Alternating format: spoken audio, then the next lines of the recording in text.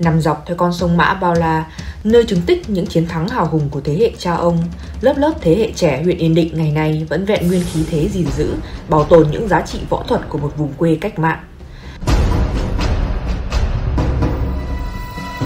là vùng đất bán sơn địa với truyền thống bất khuất trong chiến đấu và lao động sản xuất. Những năm qua, phong trào thể dục, thể thao quần chúng, đặc biệt là phong trào võ thuật trên địa bàn Yên Định có bước phát triển mạnh mẽ. Các môn võ thuật đã dần trở thành môn thể thao được nhiều người yêu thích, tham gia tập luyện.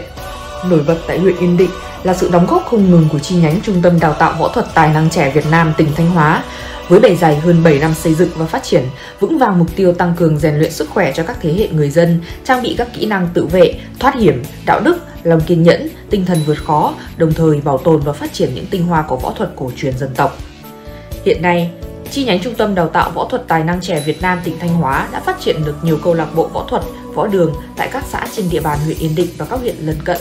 Đặc biệt, chi nhánh đã phối hợp với các cơ sở giáo dục đưa võ thuật vào trường học tại các buổi ngoại khóa, chính khóa, Điển hình như tại trường Trung học cơ sở Yên Thái, việc đưa võ thuật vào trường học không chỉ giúp học sinh rèn luyện thể chất, nâng cao sức khỏe học tập, lao động mà còn góp phần định hình về tính cách, tinh thần thượng võ, nâng cao tính kỷ luật, kiên trì, chịu khó, tránh xa những tệ nạn xã hội.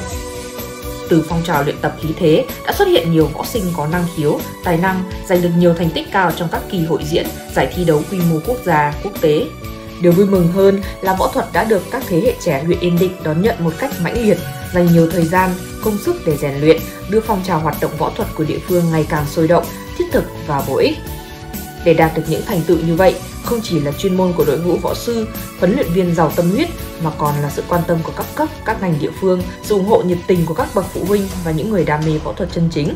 Chi nhánh tài năng trẻ tỉnh Thanh Hóa cũng liên tục đổi mới phương pháp huấn luyện, chương trình đào tạo nhằm nâng cao thành tích cho các võ sinh, chú trọng đổi mới công tác tuyển chọn vận động viên năng khiếu, góp phần xây dựng lực lượng vận động viên võ thuật có chiều sâu và chất lượng chuyên môn cao tại các kỳ thi do đơn vị tổ chức.